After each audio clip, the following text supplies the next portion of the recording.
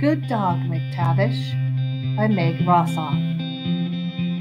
Rescue pet owners often ask the question who rescued who? In this story, McTavish is looking for a well trained family. But he falls in love with the Peaches instead.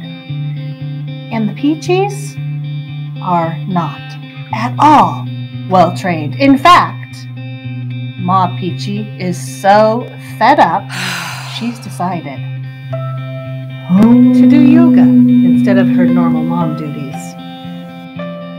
Can McTavish and Betty get the family to work together and finally be well trained? Find out by reading Good Dog McTavish.